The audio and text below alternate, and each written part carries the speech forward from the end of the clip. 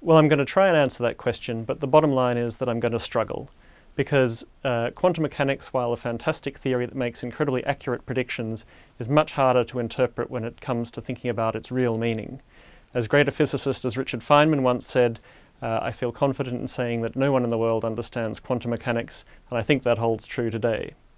But to start off with, you know, why would the wave function be anything to do with the real world? So the wave function comes about from solving something like Schrodinger's equation up here, where this is a differential equation that you solve to get this wave function, in this case as a function of position and time, and depending on the situation you might get some sort of solution like this black line here. And so this looks something like a wave from classical mechanics, but so far it's just the solution to a differential equation with no obvious connection to the real world. But it turns out if you square this wave function, getting something like this red line, then that is actually proportional to the probability of measuring this particle to be in one of these positions here at this time. So that's its connection to the real world. But is it a real physical thing?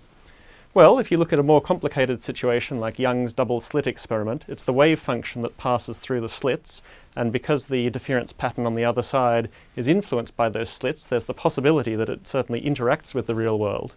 But to answer more definitively than that, I'm going to defer. I think to do that would require a deeper understanding of reality than I have and possibly that anyone has.